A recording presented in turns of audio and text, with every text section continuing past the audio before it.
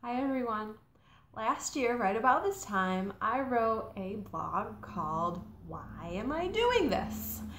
It was inspired by several conversations that I had been having with different women who were either in life or professional transitions, kind of looking around and wondering how they got there and if it was still what they really wanted.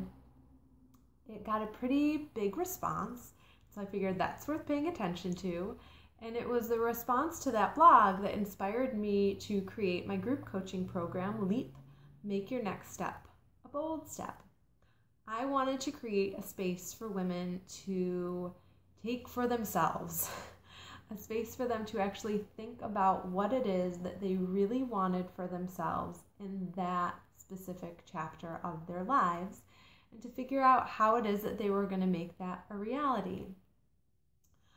So often, we are way more concerned with the needs and wants of other people.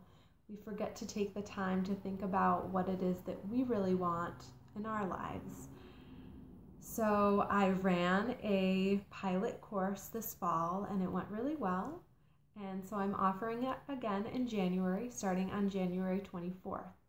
So, if you would like some space to really think about what it is that you want and how you're going to get there, please give me a call and let's talk about it.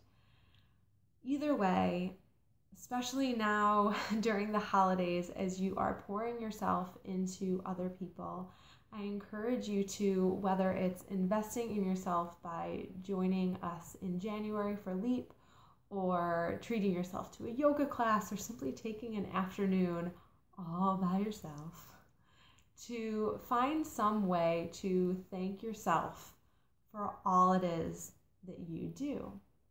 Happy holidays, everyone.